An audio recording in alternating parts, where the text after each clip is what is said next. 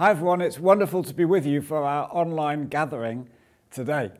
Um, I've had the privilege this week of catching up with a number of people in our community who are still very much engaging with our online um, offerings, and that's so exciting to hear. We're going to continue to put resources into online and prioritize online. We realize for some people, when they're away from a physical site um, on a Sunday, it's a great way to catch up.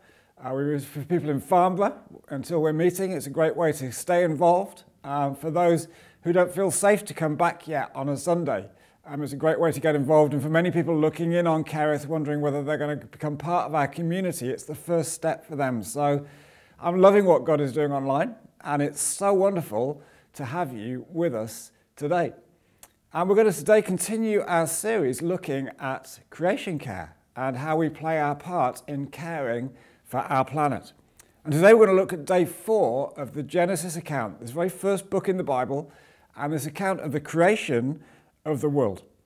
And in Genesis chapter 1, verse 14, we read about day four, and it says this God said, Let there be lights in the vault of the sky to separate the day from the night, and let them serve as signs to mark sacred times and days and years, and let them be lights in the vaults of the sky to give light on the earth. And it was so. God made two great lights, the greater light to govern the day, and the lesser light to govern the night. He also made the stars. God set them in the vault of the sky to give light to the earth, to govern the day and the night, and to separate light from darkness. And God saw that it was good, and there was evening, and there was morning, the fourth day. Oh, there's so much we could say from this passage. I, would love to talk right now about rhythm and how we find rhythm in life, and how you know the, the, the whole imposition on our world of light and dark, of, of sun and moon, gives a rhythm to our world. You think of things like the tides and how important that is for us, but I haven't got time to do that today, and that's not the task. Instead, I want to speak about how does God use the heavens to speak to us? How does God use this particular part of creation to speak into our lives? I didn't grow up in a Christian home. My parents aren't Christians. Um, I never went to church growing up. I didn't have any exposure to Christianity. And really, the, the very first time I, in my life, I remember having what I would describe as a spiritual experience, not necessarily a Christian experience, was an 11 or 12 year old looking up into the night sky. I remember a really cloudless night uh, where the stars were really bright and just looking, um, laying on the ground actually, and just looking into the sky and just being struck, first of all, by the enormity of it all. It's just like vast and it just goes on and on and on for unimaginable distances. And then also, what a tiny part of it all that I was, how insignificant I was in the scheme of things. And there was a sense of wonder and a sense of awe, a sense that this can't all have just happened by chance, it can't just be an accident, a time and place. And if it was, my life would be meaningless. But it didn't seem to be how it was. And uh, without realizing it, I was experiencing a bit of what the psalmist David spoke about. In one of his psalms, Psalm 19, he says this The heavens declare the glory of God, the skies proclaim the work of his hands. Day after day they pour forth speech, night after night they reveal knowledge. They have no speech, they use no words, no sound is heard from you, yet their voice goes out into all the earth, their words to the ends of the world. In the heavens, God has pitched a tent for the sun. It's like a bridegroom coming out of his chamber, like a champion rejoicing to run his course. It rises at one end of the heavens and makes its circuit to the other. Nothing is deprived of its warmth. And David speaks of how creation, and particularly how the, the, the, skies, how the stars, how the sun, how the moon speak to us of God and his wonder and his glory.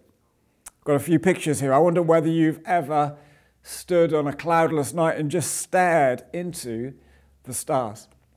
I remember one time I was in Zambia and we were in the middle of nowhere anywhere, and then there was a power cut and all the lights went off in the middle of the night, and the stars suddenly just came alive and just staring into the night sky. You realize what light pollution does, but if you've ever been in one of those places which is dark at night and you, the stars are just alive, I guess we've all had the privilege of experiencing a wonderful sunrise or sunset. I was down in our West Wight site recently, and on the Saturday night before preaching on the Sunday, we were on the beach watching the sunset down over the sea there, and it was just spectacular. And this sense of beauty and wonder and awe. Or maybe you've contemplated the moon on a clear night and looked up at this, you know, little planet above us, and just like again, just the wonder, the glory of it all. So, before we go on to think about God speaking specifically through creation, I want to leave you with this beautiful picture of the sunset for a few moments. You might even want to pause the video at this point and uh, just contemplate the beauty of God's creation. Perhaps you're in a group, you might want to even share times that you've, you've looked at creation, maybe looked at a sunrise or a sunset or the moon or the stars, and it's really spoken to you and uh, allow God, yeah, just allow God for a moment um, to speak to you through the wonders of, of the, the sun, the moon, the stars, and see what He might want to say to you. And then when you've done that, come back and join us in a few moments.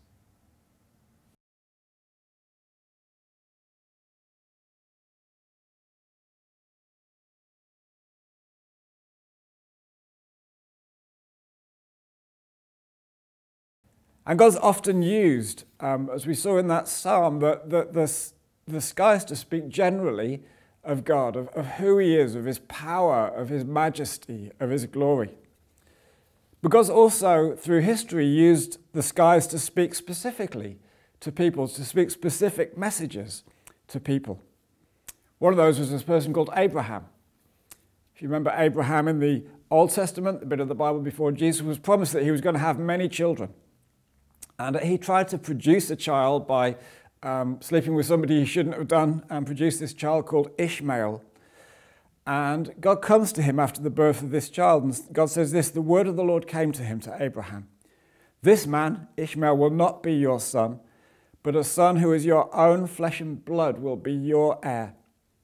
And God took him outside and said, Look up at the sky and count the stars if indeed you can count them, then he said to him, So shall your offspring be. And I suspect every time after that, when Abraham doubted what God had said, he would look into the skies and just imagine, like the countless stars, that was what his descendants were going to be. And we know that God fulfilled in time that promise to Abraham.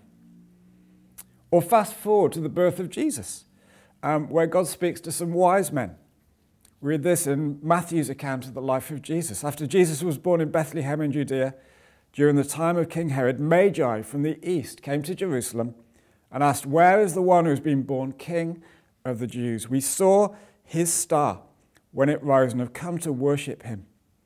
And just as God spoke through the stars to his people on the establishment of his people in Israel, at the arrival of his son, God also speaks through the stars to these people in a far off land. God also says he's going to speak through the skies when Jesus comes again. In the book of Acts, um, the story of the early church in the Bible, we read this God says, I will show wonders in the heavens above and signs on the earth below blood and fire and billows of smoke. The sun will be turned to darkness and the moon to blood before the coming of the great and glorious day of the Lord. And just as the skies announced um, the foundation of the nation of Israel, just as the skies announced the birth of Jesus, the skies are going to also announce the return of Jesus. There's a day when Jesus will come again, and he will complete the work that he began on the cross. When he died on the cross, he died for our sin. He died so that we could be reconciled to him so that we could become his friends again, so that the barrier between us and him could be removed. But Jesus didn't just die so that we could be reconciled to God, Jesus died so that the whole of creation, the whole of the universe could be reconciled to God. When Adam and Eve sinned, it wasn't just them who were impacted by that sin, the whole of creation was polluted and corrupted. And when Jesus comes again, he's going to undo all that because on the cross he died so that those things could be reconciled. This is what we read in one of Paul's letters to the church in place called Colossae. He said this For God was pleased to have all his fullness dwell in him in Jesus. And through him, get this, and through Jesus to reconcile to himself all things. What do you say, all things, where you are? Jesus came to reconcile all things, whether things on earth or things in heaven by making peace through his blood shed on the cross. And Jesus didn't just come to reconcile us to God, he came to reconcile the whole of creation to him. And it's so important as we think about creation care that we understand that end point of what Jesus achieved on the cross and what he's going to do when he comes again. Now, some Christians, some Christians have an eschatology. That word just means what's going to happen at the end times. They have an eschatology which says that at that end, everything is going to be destroyed. Everything is going to be just like blown up, you know, burnt up, and God's just going to make a whole new thing. I had an experience of this, that sort of thinking um, this week. Um, on Sunday, I was down in our Farnborough building and I was part of the, the working party that was painting the kids' rooms, um, getting ready for us to move in there, hopefully sooner rather than later, and uh, seeing this transformation. And to do that, I wore some old clothes. I wore an old pair of jeans. I don't know if you can see here, um, but I got them quite painted. Um, and I wore an old pair of jeans that, that are worn out and they've got a few holes in them because I knew that there's a day coming that I'm going to throw these jeans away. I'll put them in one of those recycling bins um, somewhere around Bracknell, and uh, hopefully they'll go to make another pair of jeans or something. But, but I'm not worried about what happens to these jeans because I know that I'm not going to wear them again in any sort of posh setting because Katrina wouldn't allow me to do that. Um, you know, that, they're destined to be discarded. And some Christians take that sort of approach with the world. Hey, well, because the world's going to be discarded and God's going to make a new one, then well, we can just get rid of it. We don't need to worry about looking after it. We don't need to worry about caring for it because God's going to make another one. And we can just do whatever we want with this one. Just like my jeans, we can just trash them. We don't need to worry if we drop paint on them or whatever. Um, it just doesn't matter. But that's a complete misunderstanding of what's going to happen on that day when Jesus comes again. In the book of Revelation, we started in the first book of the Bible, Genesis, but in the book of Revelation, the last book in the Bible, we read this Then I saw a new heaven and a new earth. For the first heaven and the first earth had passed away, and the sea was no more. And I saw the holy city, New Jerusalem, coming down out of heaven from God, prepared as a bride adorned for her husband. And I heard a loud voice from the throne saying, Behold, the dwelling place of God is with man, and he will dwell with them, and they will be his people. And God himself will be with them as their God. He'll wipe away every tear from their eyes, and death shall be no more. Neither shall there be mourning, nor crying, nor pain any more, for the former things have passed away. And he who is seated on the throne says, Behold, I'm making all things new. Now you might go, well, that seems to agree with that sense. God's making all new things. He's making all things new. He's, he's um, you know, all this stuff's going to go away, and God's going to make a new heaven and a new earth and get rid of the old one. And we sometimes imagine, um, when I was growing up, I used to watch those Tom and Jerry cartoons. I don't know if any of you ever watched those. And uh, sometimes they had like heaven and hell in those cartoons. And heaven was always this place where um, I think it was always, was it Jerry was the mouse? Um, ended up in heaven and, uh, and would like float around with wings on a sort of cloud, um, singing hymns and, and just basically being angelic all day. And it was this sense of being like disembodied of an unreal place, of a place that isn't really physical, of a place that isn't really like this place. But the Bible's description of this new heaven and new earth is, first of all, a very physical place. It's a place that's real. It's a place where we can touch and feel. It's a place that, that's very real. Secondly, it's interesting to note in this new world, it isn't a case that we go to heaven to be with God. Sometimes we use that sort of language, you know, when someone's died or they've gone to heaven to be with God. But when Jesus comes again, it isn't that we go to heaven, but that heaven comes to us. Heaven comes down, and, and suddenly heaven and earth are reunited again. The curse of what happened in the Garden of Eden is reversed, and suddenly God dwells with his people. God is just amongst us and with us. But thirdly, to note, when, when John, who's writing this, says it's a new heaven and a new earth, it doesn't mean new in terms of being brand new. The word actually means it's like a renewed version of the old one. And the newness is about this new heaven and new earth having a newness of quality and essence. Whereas the old earth was wearing out, whereas the old earth was decaying. This new earth and our new bodies, praise God, they won't decay, they won't degrade.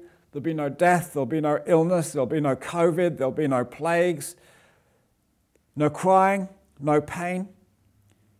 You see, it doesn't say that God is making all new things, but God is making all things new. Tom Wright, a famous Christian scholar, puts it this way God's plan is not to abandon this world, which he said was very good. Rather, he intends to remake it. And when he does, he will raise all his people to new bodily life to live in it. That's the promise of the Christian gospel. So God is going to remake us. God is going to renew us. He's already done that in our spirits. He's going to do that in our bodies when He gives us resurrection bodies. But He's also going to do that in the earth. He's going to remake, renew this earth. And that gives us a responsibility to care for this earth. Because when we care for it now, we foreshadow, we begin that work which God is going to complete when Jesus comes again. You know that line in the Lord's Prayer when we pray, your kingdom come on earth as it is in heaven. And when we pray that, we're praying for that what's true in that new heaven and new earth will be true now on the earth. That's what happens when we pray for healing. We know that in the new heaven and new earth, there will be no sick people. So when we pray for healing, we're praying for that kingdom to come now. When we pray for God to deal with injustice in the world, we know that the new heaven and the new earth will have no injustice. So when we pray that prayer, we're praying for that to become a reality now. And when we care for the earth now, we're, we're foreshadowing what God is going to do then and saying, God, make that a reality now. Tom Wright goes on, he says, The message of the resurrection, of this raising to new life, is that the present world matters, that the problems and pains of this present world matter, and that the living God has made a decisive bridgehead into this present world with his healing and all conquering love. And that in the name of this strong love, all the evils, all the injustices, and all the pains of the present world must now be addressed with the news that healing, justice, and love have won the day. That's why we pray, Thy kingdom come on earth as it is in heaven. So, when it comes to creation care, what does that look like? It means that we realize that this that this world, our world, is God's good creation. It's part of what Jesus died for on the cross. And one day it will be renewed, it will be reconciled to God. And we anticipate that work. We, we see heaven on earth when we become part of that renewal here today. Now, I realize for some people this series is proving a bit of a struggle. I've had some people say, like, really, Simon, as Christian, should we be talking about this creation care thing? Um, why are we spending eight weeks on a subject like this? Are we in danger of losing sight of the gospel, of our unique message of salvation in Jesus? Are we being hijacked by the world's agenda or just following the latest hot topic in society? And I want to say to all of us, as a community and wider, a resounding no to all of those. Coming out of this pandemic, I'm more committed than ever to be a church that is centered around Jesus and his call on our lives. As we come out of this pandemic, I'm through helping lead a church where we just try to attract a crowd, where we try and make everything look shiny and polished on the outside, even if we're struggling to deliver that on the inside, where we're trying to do whatever we can just to get people to stay I don't want to do those things anymore. I want to be around people who are committed to following Jesus wherever he leads and whatever it costs. I want to be around people who see their commitment to Jesus not just as a Sunday thing, but something which shapes and defines every area of our lives. Are people whose only desire in life is to do and follow Jesus. And part of that call, part of our unique message to the world is to care for creation. As we've seen in weeks, previous weeks, well, that's partly because it's a, a justice issue. The, the climate changing is impacting people around the world, and we recognize that. But this week, I want us to say, hey, we need to care for creation because we understand that this is God's world, the world that He created and called good. And when we care for it, we foreshadow that day when He will come again and renew it. And we begin that work today as we get involved in caring for our world. So, I'd encourage you to come on this journey. We'll continue to do all the things we've always done as a church. We will proclaim the name of Jesus as clearly as we can. We will share our faith as openly as we can. We will continue to care for the poor and the impoverished in our communities. We continue to stand up against injustice wherever we see it, whether we see racial injustice, whether we see injustice around the world. We'll begin to we'll continue to do everything we can to be that force for Jesus on this planet. But we'll also care and demonstrate our love for Jesus by caring for our planet. So, yes, we will spend eight weeks talking about creation care. If I'm honest, after 32 years in this church, in my experience, it's the first time we've ever spoken about it. So, we've got a bit of catching up to do. And I want to encourage all of us to be taking our little baby steps. Katrina and I are starting to do those. We're eating less meat. I've been exploring where my pension is invested and whether I can move it into ethical funds. We've started using more environmentally friendly cleaning products. We've switched our energy supplier to one that supplies um, electricity from renewable sources and offsets our gas. I know other people have been taking those steps and others. Let's continue to press into that journey, confident that what we can do, as we do what we can do, God will come and do what only He can do. We're going to finish in the moment by praying the Lord's Prayer together, to pray that prayer that Jesus taught us to pray. Your will be done on earth as in heaven. But before that, I want to just show you a little video uh, from a wonderful couple in our church, Neil and Becca Taylor. And they're just going to tell us about some of the next steps that they've been taking and encouraging us into those next steps as a community. So please take a look at the screen.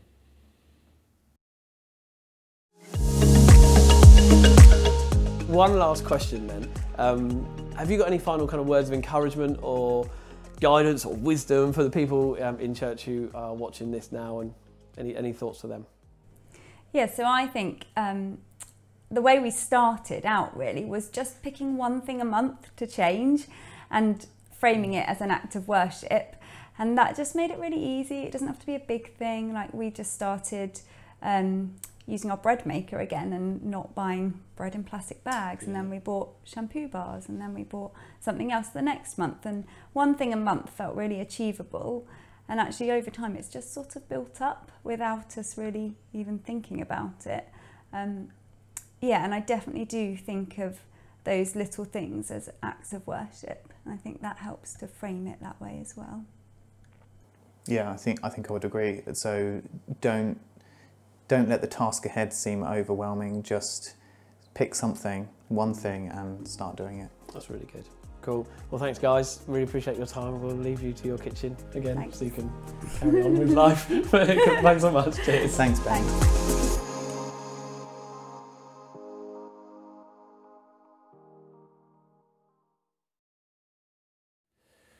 So thanks, Neil and Becca. That was excellent. If you go on the website, um, you'll find a whole load of those videos. Um, there's a whole long version and then cut up into little bits. We'll release those over the next few weeks of, of Neil and Becca talking about the steps they've been taking and how we might respond to those. So as I said, we're going to finish by praying together the Lord's Prayer. That's what we're passionate about. We want to see heaven on earth. We want to see God's kingdom come and his will being done. We see that when we see somebody decide to follow Jesus. We see that when somebody is lifted out of debt. We see that when somebody is healed. We see that when injustice is challenged and overcome. And we see that when we care for our planet. So please join with me together. We'll put the words on the screen because um, there's so many different versions of this prayer. So we can pray together. Let's pray. Our Father in heaven, hallowed be your name. Your kingdom come, your will be done, on earth as in heaven. Give us today our daily bread. Forgive us our sins as we forgive those who sin against us. Lead us not into temptation, but deliver us from evil. For the kingdom, the power, and the glory are yours, now and forever. Amen. Hey, thank you so much for being with us. Hey, please think about what your next steps might be and see what you're doing as we care for creation as part of what it means to follow Jesus and see his kingdom come and his will be done.